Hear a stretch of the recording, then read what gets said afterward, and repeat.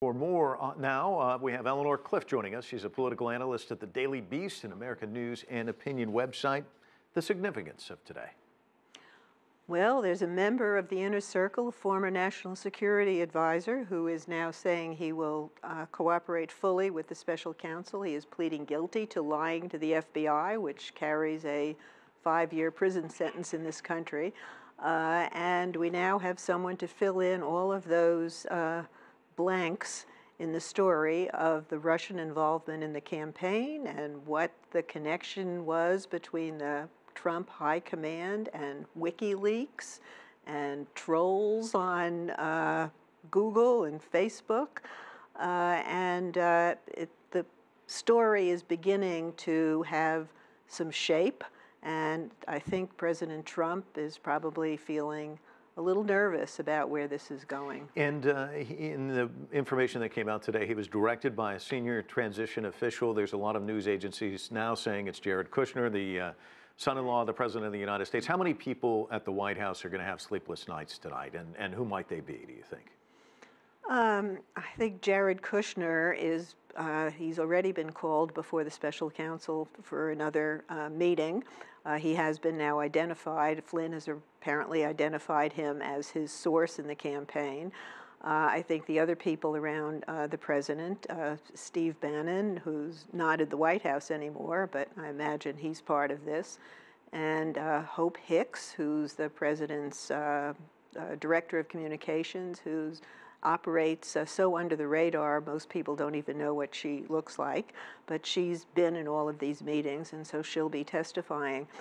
Um, but in terms of wrongdoing, I think we don't know yet what what the wrongdoing is and and and who and who it might affect. I think it's a question of whether you had a ca campaign officials uh, working with a um, hostile government to tilt the election uh, towards uh, Donald Trump. And uh, there are some laws that say the Logan Act, you can't uh, be negotiating policy with another uh, country. This isn't exactly policy. So I think people aren't quite sure where the illegality is. But I think what they're looking at is obstruction of justice and the president's attempts to shut down this investigation. And we keep learning uh, more about those attempts.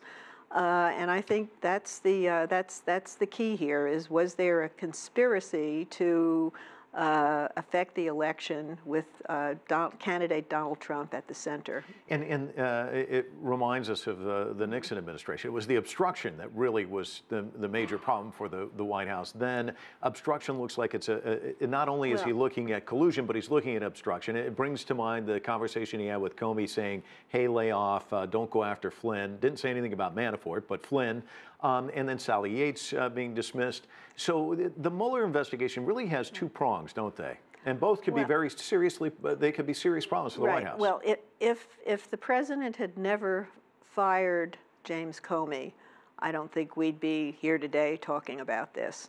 Uh, and uh, the president does seem to think that he has virtually dictatorial powers. And I'm sure that they're talking about whether uh, they can uh, fire Mr. Mueller. I think that would really create a constitutional uh, crisis.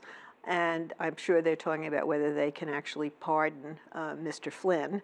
And the consensus seems to be that if he did that, that would be another uh, uh indication of obstruction of justice. He would just get himself into, into bigger trouble. So I don't know what the president does except sort of grit his teeth and, and uh, you know, let this unfold. He was noticeably quiet on Twitter. And he didn't. He, he appeared in the White Which House, but uh, right, that's right. He appeared in the White House, but the reporters were not allowed into the into the session. So uh, nobody's been able to yell a question at him.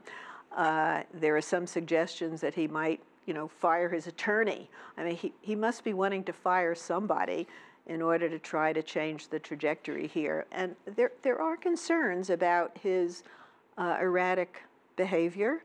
And um, when you hear the attorney at the White House, Ty Cobb, basically say, oh, well, this is going to be wrapped up by Christmas, and he's been assuring the president that he's not a target of the investigation, that's, it sounds like a lot of happy talk. Um, trying to keep the lid on a uh, very explosive uh, presidential personality. And, and Mueller seems to be sending messages too. Uh, Papadopoulos, Flynn, you cooperate with us, we'll go easy on you. Manafort, you don't answer the questions, you don't cooperate, we're going to throw the book at you. So the more people they talk to, uh, they know what the stakes are, don't they? Oh, they do. And um, there aren't too many more people uh, that he can uh, subpoena uh, and assure them that they are going to be okay. I mean, he keeps, he keeps going down this list. And at some point, I think we're going to we're going to get the goods on whatever there is to to learn. Not so much what the Russians wanted out of the out of the relationship, but what Donald Trump wanted out of the relationship. And I think that's where you get into the, the financial dealings that Manafort was expert at. We're going to have to leave it there. Eleanor Clift, always a pleasure. Okay, all right, Thanks so thank much. you. I'm sure we'll have you back. Mm.